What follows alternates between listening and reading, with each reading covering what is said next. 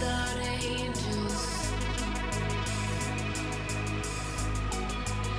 is how I feel when the mirror shows me